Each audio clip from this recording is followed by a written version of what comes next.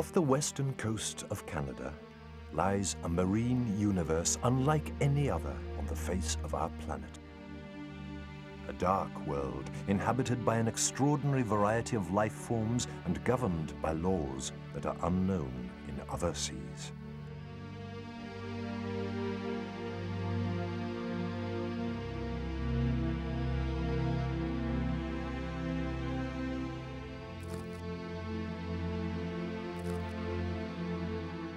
Here, the dim and icy waters of the ocean are tormented by the most powerful currents of North America, and their secrets are still largely unexplored.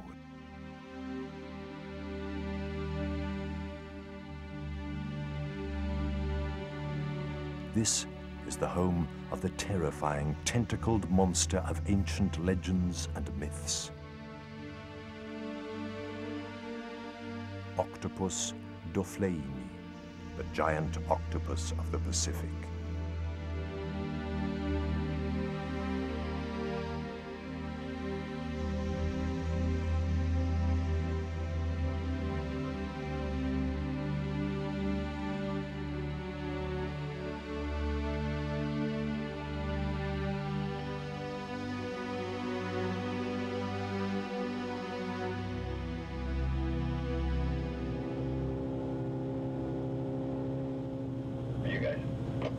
South of Alaska, the Pacific coast is bordered by the high mountains of British Columbia.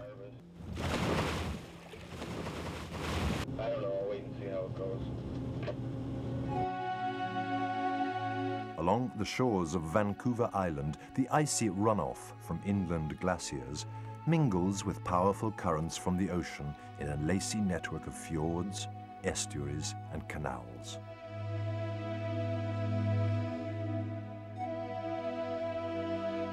The sounds, long river-like inlets of the ocean, seem calm enough on the surface. But when the tides change, the mighty currents provoke raging storms beneath their gentle waves.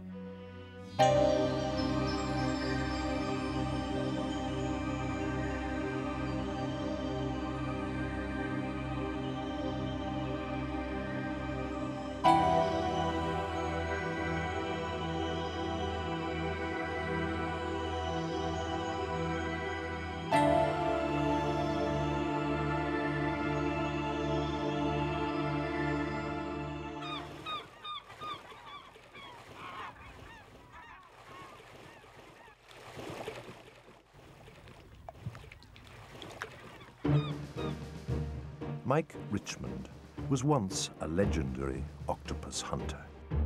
Years ago, Mike guided an expedition led by Jacques Cousteau that extended the fame of these uncontaminated waters far beyond the Canadian borders. We're sailing northward through the Strait of Georgia. In a small inlet on the shores of Quadra Island lies an ideal habitat for the giant octopus that Mike calls Octopus City. The water here is only a few degrees above zero, even at the height of summer. Mike and his assistant, Todd, don special dry suits of neoprene and strong plastic fibers that protect their bodies from the biting cold. Their heavy belts weigh over 50 pounds. Everything's ready, but our descent has to be timed with the utmost precision.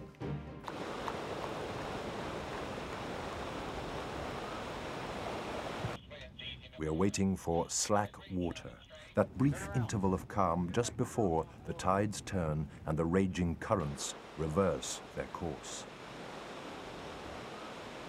The diver who challenges these running currents runs a fatal risk of being swept off course. The captain is in constant contact with the Coast Guard, checking the tide tables. When the time is right, he gives us the go-ahead. Rock and roll.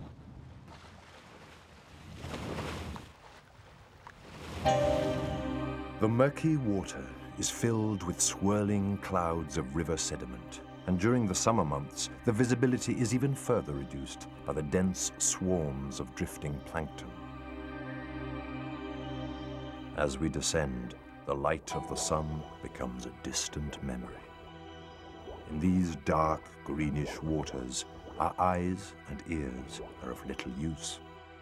The sea bottom becomes our only point of reference. Our arrival is immediately noted by a rather menacing band of dogfish.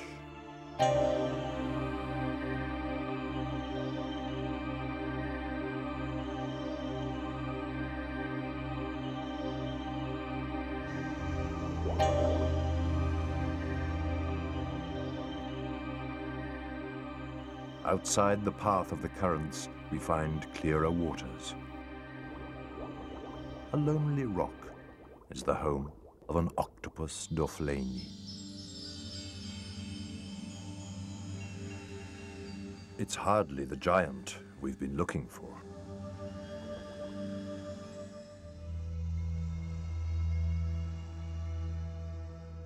In the 1960s, when these waters were first being explored, octopus hunts were organized.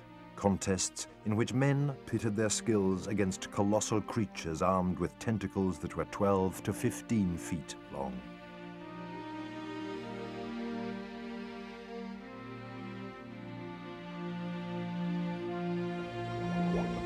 Like the common octopus, this young Dofleini glides through the silent waters, propelled by jets of water from its siphon. A dense cloud of ink conceals its departure. Its skin is a palette of changing colors.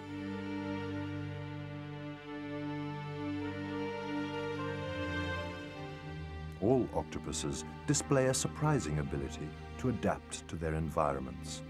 Their vision is excellent, and they're considered to be the most intelligent of all the marine invertebrates. The giant octopus is particularly skilled at wrinkling its mantle. This increases the surface area of its sensitive skin, transforming its body into a complex network of antennas for exploring its surroundings. No one knows how large these cephalopods can grow. In 1957, an enormous specimen weighing 272 kilograms was found on the western shores of Canada. Its tentacles were over nine meters long.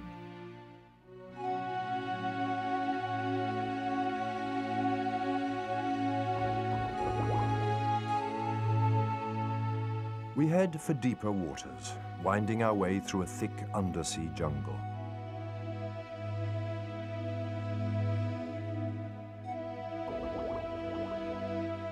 This watery green world is teeming with unexpected wonders. Just where the churning currents are strongest, there's an astounding profusion of life. Anchored to the submerged cliffs are flower-like animals that eat and breathe with the same ease, filtering the icy waters rich in nutrients.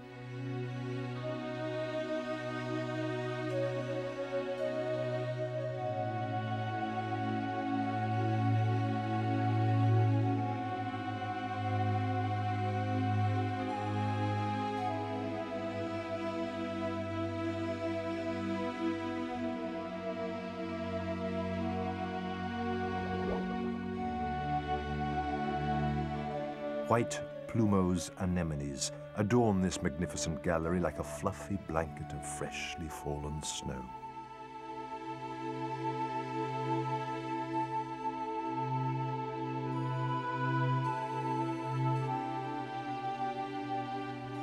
In the gloomy light that penetrates these depths, the beauty of this submerged kingdom is completely lost on its inhabitants.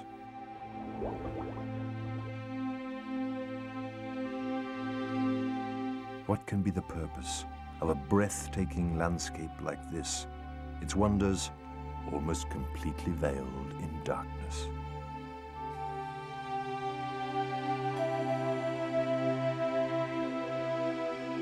To our eyes, these marine creatures appear fragile and incredibly delicate.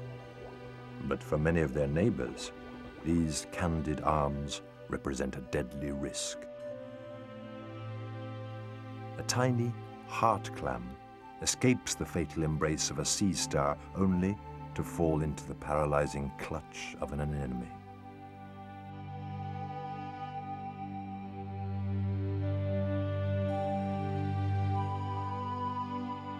The octopus isn't the only sea creature with an excess of arms. The petal-like appendages of this sunflower starfish, one of the largest species in the world, make the octopus look like a simple four-leaf clover.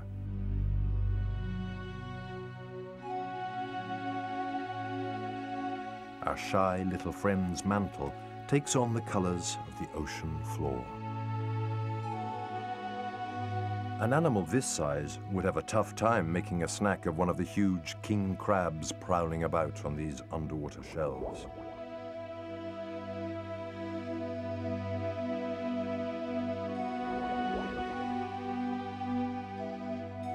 The young crabs, whose shells are still soft, band together in small groups to protect themselves against predators.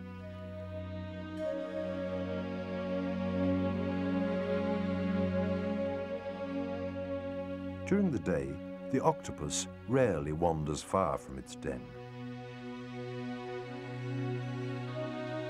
There are too many unsavory characters out there waiting. Killer whales, seals, dolphins, sharks, even a large cod can be a threat.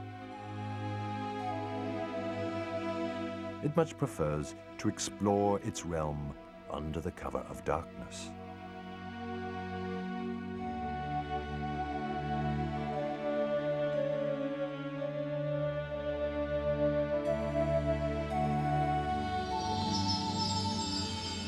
Despite its rather monstrous appearance, the wolf eel is completely harmless. The pale-skinned male and his chocolate-colored mate form a faithful couple that remains together for life. Mating occurs once a year.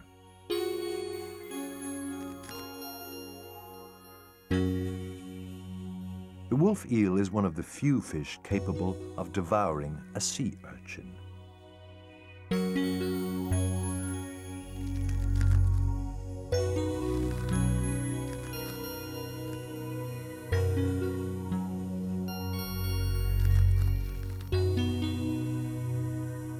At slack tide, when the currents are at rest, its meal begins. Cods follow the hunter's progress closely.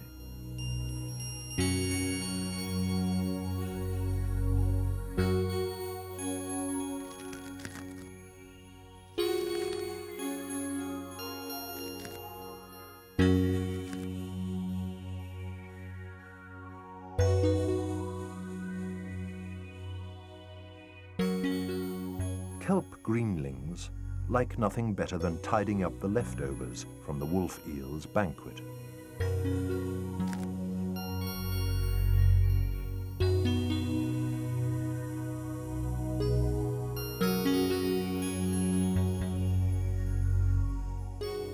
In shallower waters, at the edges of the kelp forests, there's a complex marine community.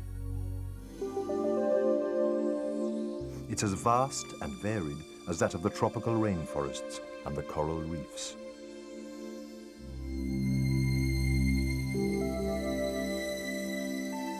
The kelp plant begins life as a microscopic spore, which gives rise to graceful banner-like fronds that can extend for up to 60 meters. At their bases are immense colonies of prickly sea urchins. These living pincushions consider the tender kelp fronds a true delicacy. Despite their impressive suits of armor, the sea urchins aren't immune to attacks. A starfish lends a hand to a hungry group of kelp greenlings. It's an odd but effective alliance.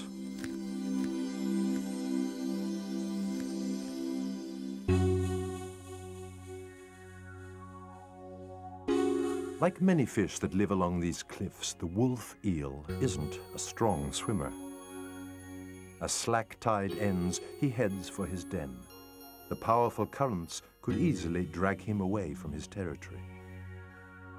The male initiates a rather complicated U-turn to take up his post inside the rocky home.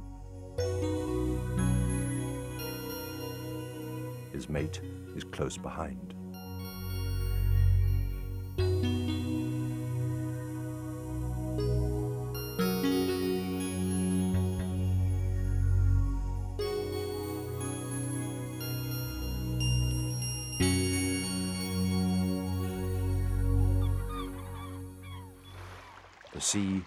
About to be transformed into a raging river.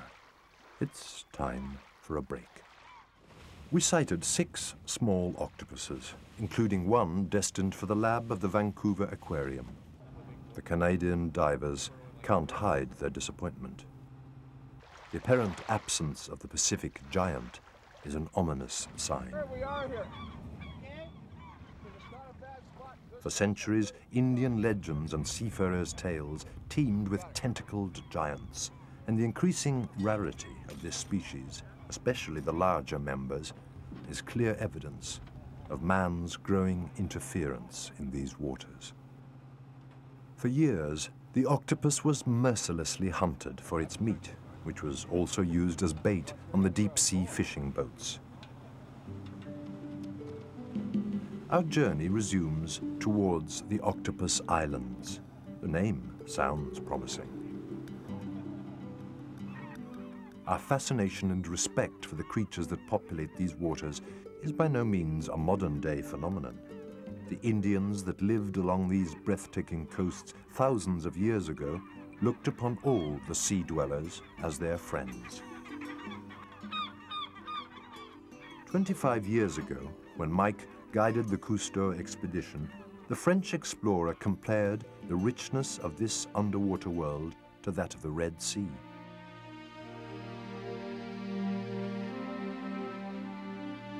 As summer ends, salmon congregate along the coasts of Alaska and British Columbia, preparing for the grueling upriver journey to their spawning grounds.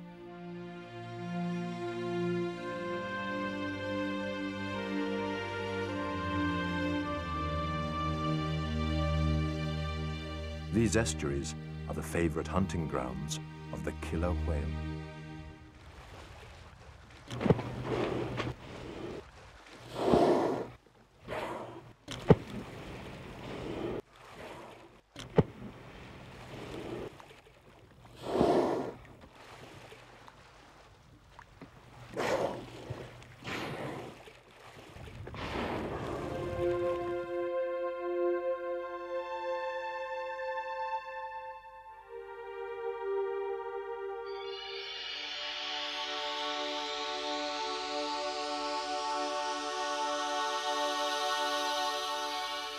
As evening falls, the dogfish becomes even more daring.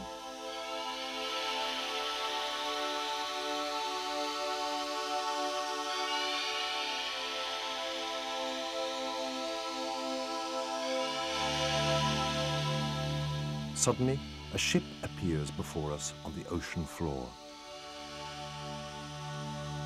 The SS British Columbia was purposely sunk offshore to provide housing and defensive refuges for fish and other sea dwellers. The command cabin looks like a perfect abode for a giant octopus. But once again, our search is in vain.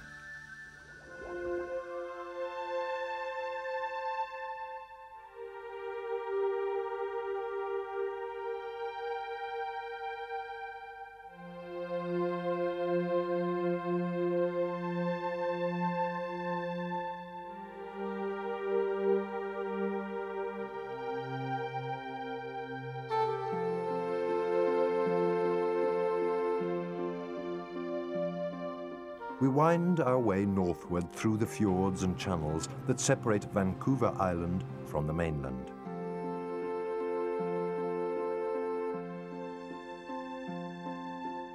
The arrival of the salmon is eagerly awaited by the seal colonies. Resting on a floating log bank, which rises and falls with the tides, eliminates their constant search for dry land.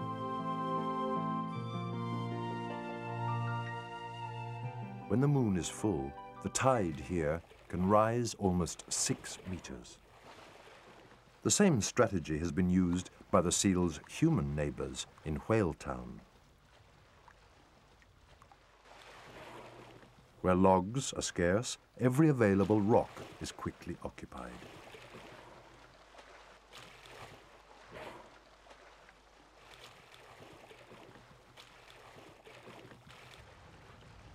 A hungry seal pup struggles in the waves. His mother and her warm milk are waiting on shore. The other members of the colony watch anxiously.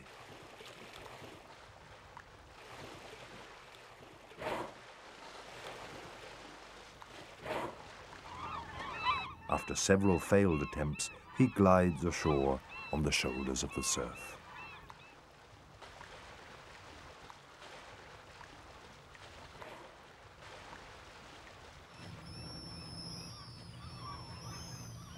The rise and fall of the tides has an enormous effect on most of the animals living along the coast. The sparkling tide pools are microcosms of marine life stranded on the rocky coast. As the tide advances, the open sea returns to bathe the sun-baked rocks and the creatures that it left behind.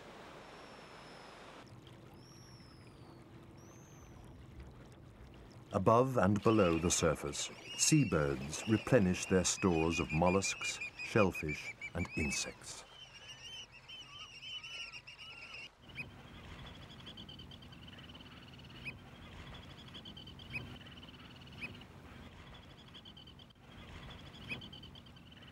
Thanks to their large water reserves, the brightly painted sea stars can relax while they wait for the ocean's return.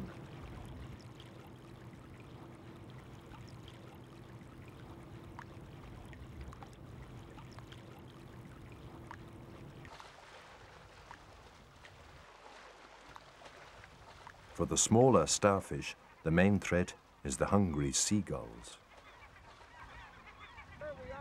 We've made over 90 dives, and the largest octopus we've seen measured little more than a meter.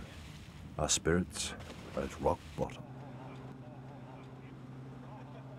Suddenly, our assistant, Federica, suggests a visit to the band of fat black seals basking in the sun near the boat.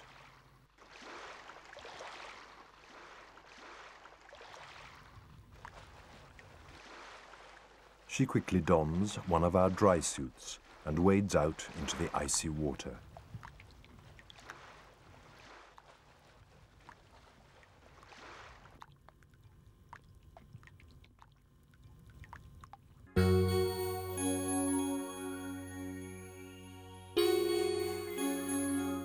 The seals are specialized at hunting in the thick forests of kelp.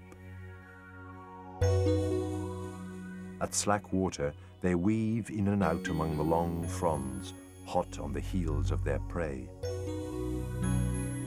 They're especially fond of the tender, succulent meat of the octopus. Federica spies a jumble of crab carcasses and shells piled in front of a rocky crevice.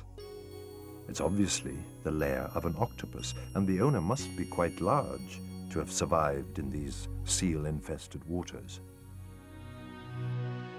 In the pale rays of the early morning sun, we find ourselves face to face with the largest octopus ever filmed in the wild. The protagonist of countless legends and myths. Pliny the Elder describes an eight-armed monster that regularly left its home in the deep to visit the markets along the Mediterranean coast, wreaking panic among the town's inhabitants. A Greek legend tells of an octopus that was so enormous that an archbishop celebrated Mass on its head, mistaking it for a rock. Victor Hugo recounted a vicious battle between a giant octopus and a man. Jules Verne imagined an army of tentacled giants that attempted to crush the Nautilus of Captain Nemo.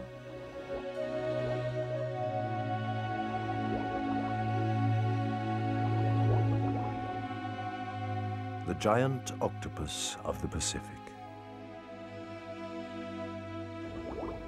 Far from the monster of legends, it's a fragile and gentle creature that willingly accepts our caresses, a silent ambassador from the world where life first appeared on our planet.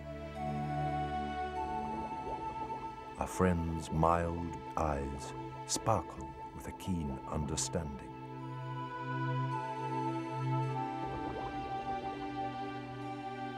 Despite its extraordinary intelligence, it has never succeeded in colonizing the seas of our planet.